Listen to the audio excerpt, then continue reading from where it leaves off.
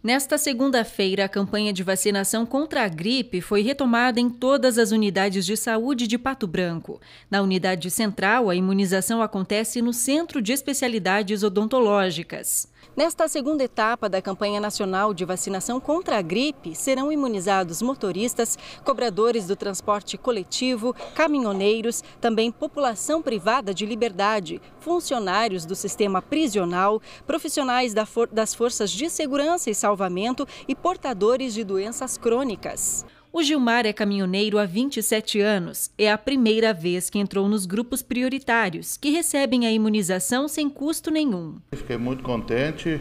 Eu já tive vindo semana passada aí, só que estava em falta, mas hoje deu certo de fazer.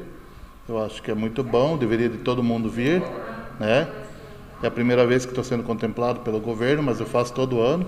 Elis Regina Albani, responsável pela imunização no município de Pato Branco, explica que a vacina é trivalente e é importante neste período, mesmo não protegendo contra o coronavírus. A influenza, a gripe, né, que é popularmente conhecida, ela é uma doença que geralmente tem curso benigno, mas ela também pode ter as complicações, como insuficiência respiratória grave, hospitalizações e levar até a óbito. Né?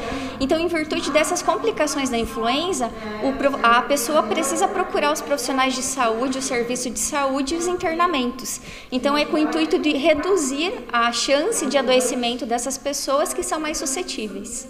O dia D da campanha este ano será em 9 de maio, um sábado. Todos os pontos de vacinação estarão atendendo todos os grupos, né? A primeira, a segunda e a terceira etapa de campanha.